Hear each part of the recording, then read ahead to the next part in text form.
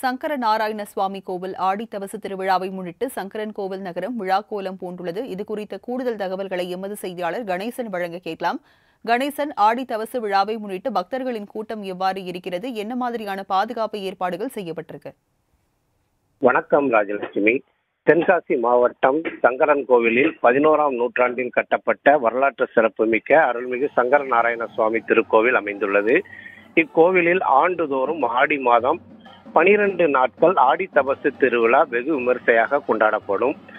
இந்த ஆண்டிற்கான ஆடி தபசு திருவிழா கடந்த பதினோராம் தேதி அன்று கோமதி அம்மன் சன்னதி முன்பு அமைந்துள்ள தங்க கொடிமரத்தில் கொடியேற்றத்துடன் துவங்கியது. அன்று முதல் தினசரி காலையில் கோவிலில் கோமதி அம்மனுக்கு சிறப்பு அபிஷேக அலங்கார தீபாதனைகளும் கோமதி அம்மன் சிவலிங்க தரிசன அலங்காரத்திலும் சிவலிங்க அபிஷேக அலங்காரம் சிவலிங்க பூஜை அலங்காரம் தமிழ் மறை ஓதுதல் யோகாசன ஆத்மார்த்த பூஜை வீணாகானம் செய்தல் முளைப்பாரி எடுத்தல் உள்ளிட்ட பல்வேறு அலங்காரங்களில் சப்பரத்தில் எழுந்தருளி ரத வீதி உலா வரும் நிகழ்ச்சி நடந்தது. இதனைத் தொடர்ந்து மாலையில் கோவிலில் இருந்து வெள்ளி சப்பரத்தில் கோமதி அம்மன் எழுந்தருளி ஒவ்வொரு சமுதாய மண்டகப்படி கட்டிடங்களுக்கு எழுந்தருளும் நிகழ்ச்சியும் அங்கு அம்மனுக்கு சிறப்பு அபிஷேக அலங்கார தீபாவளிகள் நடத்தப்பட்ட பின்னர் அங்கிருந்து வெள்ளி ரிஷப வாகனம் வெள்ளி காமதேனு வாகனம் வெள்ளி ரிஷப வாகனம் உள்ளிட்ட தங்க சப்பரம் ஆகிய வாகனங்களில் எழுந்தருளி ரத வீதி உலா வரும் நிகழ்ச்சியும் நடைபெற்றது.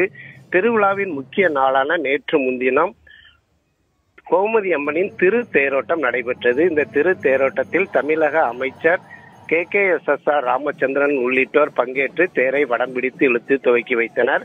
இதேபோன்று திருவிழாவின் முக்கிய நாளான இன்று மாலை ஆடி தபசு திருவிழா நடைபெறுகிறது. இதற்காக இன்று காலை முதலே கோவிலுக்கு பக்தர்கள் கூட்டம் கூட்டமாக வருகை தந்து மாவிளக்கு எடுத்து நெய் விளக்கு ஏற்றியும் தங்களது நேர்த்திக் கடனை செலுத்தி வருகின்றனர். மேலும் இன்று மாலை கோவிலில் உள்ள தெற்கு ரத வீதியில் வைத்து அன்னை கோமதி அம்மனுக்கு சுவாமி சங்கர நாராயணராக காட்சி தரும் முதல் தபசு காட்சி நிகழ்ச்சியும் இதனைத் தொடர்ந்து இரவு பனிரெண்டு மணி அளவில் கோமதி அம்மனுக்கு சுவாமி சங்கரலிங்க சுவாமியாக காட்சி தரும் இரண்டாம் தபசு காட்சியும் நடைபெற இருக்கிறது. இந்த கா- தபசு காட்சியில் தமிழகத்தின் பல்வேறு பகுதிகளிலிருந்து பல லட்சக்கணக்கான பக்தர்கள் வருகை தர இருப்பதால் பாதுகாப்பு நலனை கருத்தில் கொண்டு சங்கரன் கோவில் நகர் பகுதிகளை சுற்றிலும் ஆறு சோதனை சாவடிகள் எல்லை பகுதியில் அமைக்கப்பட்டுள்ளது.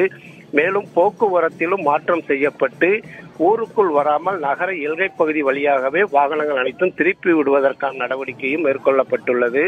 இதேபோன்று தென்காசி மாவட்ட காவல் கண்காணிப்பாளர் சுரேஷ்குமார் தலைமையில் இரண்டாயிரத்திற்கும் மேற்பட்ட போலீசார் பாதுகாப்பு பணியிலும் ஈடுபட்டு வருகின்றனர்.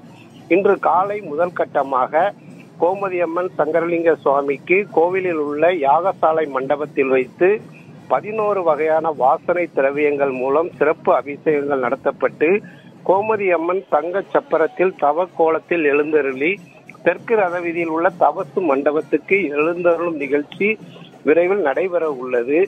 இந்த நிகழ்ச்சிக்காக தற்போதே கோவிலில் பக்தர்களின் கூட்டம் அலைமோதி வருவதால் பாதுகாப்பு பணியில் போலீசார் ஈடுபட்டு வருகின்றனர்.